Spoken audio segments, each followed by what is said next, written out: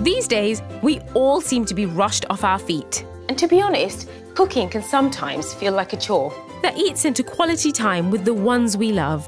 What? But no matter what I'm juggling, I still want to feed my family delicious food. So, to make more space for the things that really matter, I've stopped feeling guilty about taking shortcuts and I've started to embrace every cheat in the book.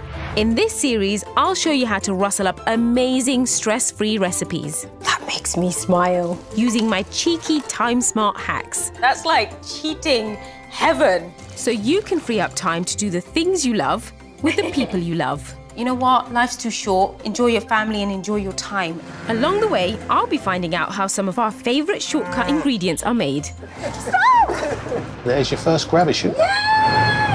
and going to the rescue of time poor households across the UK. I'm trying to maximise every hour. It is hard to find time. It's nice to take that moment of pause. High five, we did it. no matter how busy we are, with my simple go to dishes, we can all find time to eat.